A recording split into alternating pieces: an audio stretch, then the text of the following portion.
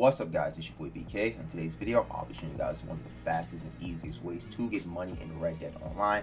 And this is your first time to the channel, be sure to hit that like button and also hit that sub button if you want to stay updated with Red Dead videos like this. Now, this method I'm going to show you guys now will get you around 80 bucks every 15 to 20 minutes if you do it uh, pretty quick and if everything spawns right.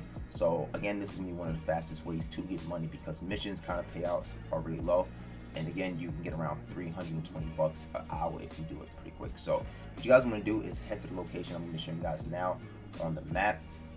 Um, it's pretty much north of the map and you're going to be looking for a place called Whinyard Strait. um, it's right close to Widow's Rock. Um, and again it's right here. And you're going to place a marker exactly where I place it down and you're going to head to that location there.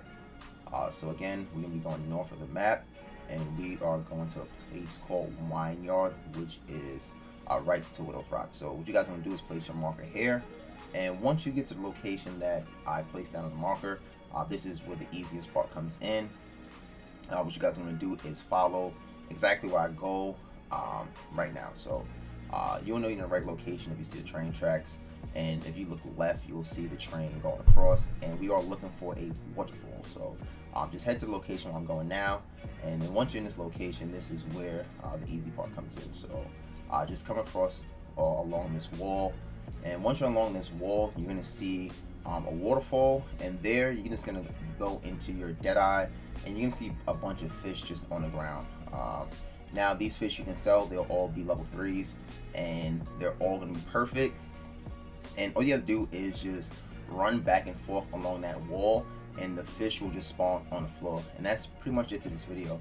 Um, I really don't like making long videos because this is extremely simple to do and I don't think this requires a 10 minute video. So again, what you guys want to do is just run across this wall and go back and forth and pick up all of these fish. And you're going to be able to get five different species of fish. So I advise you guys to pick up uh, 10 of each so you guys can maximize the money that you uh, receive once you go back to the butcher and. But that's pretty much it for the video. I hope you guys enjoyed. Be sure to drop a like on this video and also sub if you guys are interested in seeing more videos like this. It's your boy BK, and I'll see you guys in the next one. Peace.